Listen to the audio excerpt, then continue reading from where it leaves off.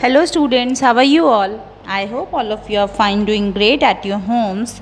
So students, today I was explaining you the chapter decimals and we have to complete only one exercise for the chapter revision which is remaining that is E exercise multiply or divide the following.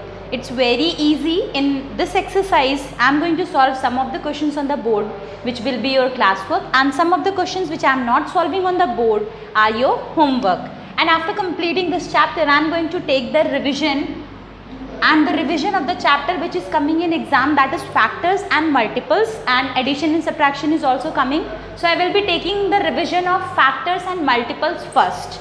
Firstly, you have to study the chapter factors and multiples. I will be taking test our 2 3 after 2 3 days. Okay. After 2 3 days there will be a revision test and that revision test will be of 10 marks and you have to score good in that revision test because on that basis only I am going to give you your subject enrichment marks. So you have to score good in this test because Scoring good is very important. You should understand the concept of factors and multiples. So you have 3 days. In between these 3 days, if you have not understood anything from the chapter, you can comment down in the comment section. I will explain you that particular topic from the chapter factors and multiples. So the first question in E exercise is 45.75 multiplied by 3. So as I have told you, whenever you are multiplying the decimal numbers, just remove the decimal point and follow the standard multiplication process. So 3 5s are 15, 1 carry, 3 7s are 21, 2, 2 carry again, 3 5s are 15, 17, 1 carry, 3 4s are 12 and it will be 13. Now after completing the standard multiplication process, you have to check how many digits are there after the decimal point. Okay students? So, there are two places, two digits are there after the decimal point 1, 2. So, the from, from the extreme right in the answer we have to count two digits 1, 2 and then we have to place the decimal point. So, the final answer will be 137.25. Okay students. Now, let us move on to the next question that is question number 2. 89.45 multiplied by 100. Now I have already explained you how to multiply the decimal numbers by 10 or multiples of 10.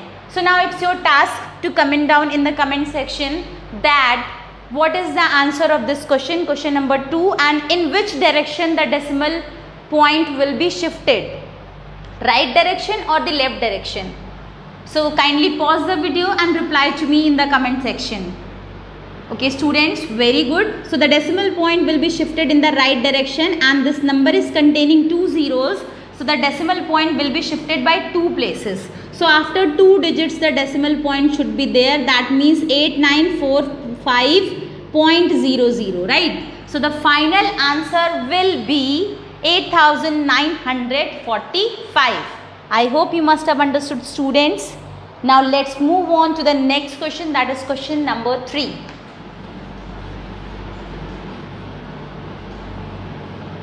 So students, question number 3 is 0 0.2463 multiplied by 5.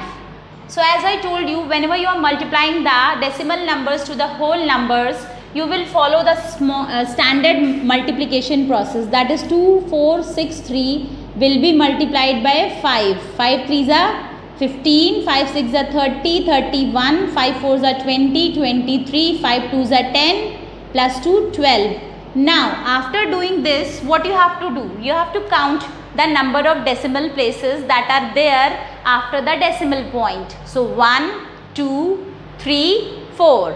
So in total there are 4 decimal places.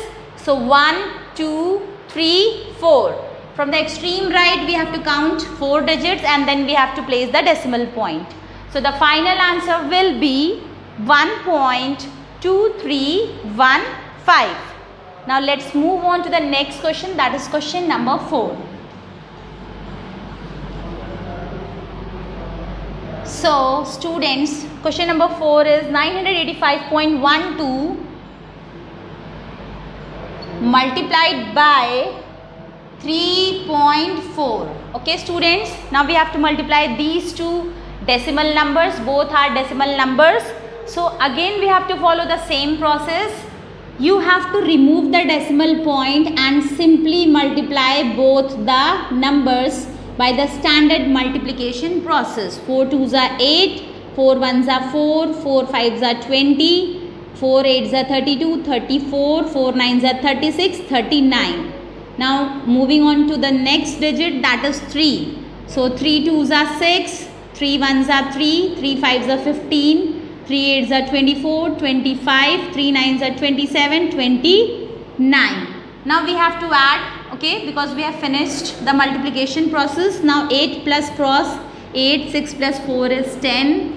1 carry, 3 plus 1 4, 5 plus 4 9 and 9 plus 5 is 14, 14 plus, ना 14 का one carry यहाँ आ जाएगा again nine plus four is 13 then one carry again it will be three ना in the final answer where the decimal point will be there it's your task kindly comment down the answer in the comment section pause the video and comment down the answer in the comment section students very good one two three so in total there are three decimal places we have to check in the both the numbers okay so in both the numbers there are three decimal places so one two three so the decimal point will lie over here I hope you must have understood students. Now, listen about your homework that how many questions you have to do in your maths homework copy. So, question number five, six, seven. These three questions are supposed to be done in your maths homework copy of E exercise. Now, let's move on to the last question of E exercise that is question number 8. This is also very simple.